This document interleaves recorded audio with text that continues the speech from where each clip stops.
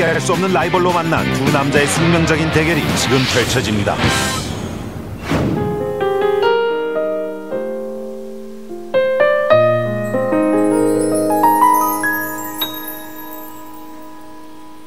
가슴 아파서 목이 메어서 안간 힘을 써봐도 피해갈 수도 물러지지도 않는 이별인가 봐 너무 놀라서 자꾸 겁나서 웃음으로 이기려 해도 눈치 빠른 눈물이 더 먼저 알고 날 흘러.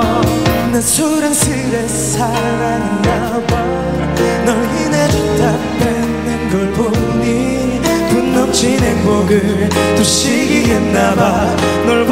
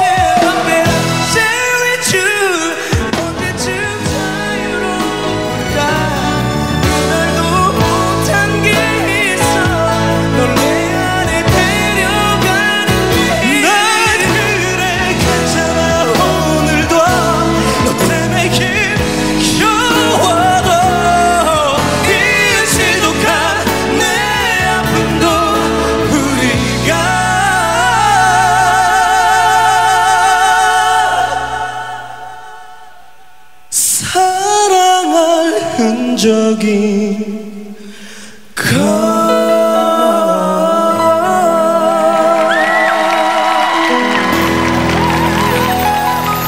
아, 아름다운 향기를 남긴 두 친구의 멋진 무대였습니다.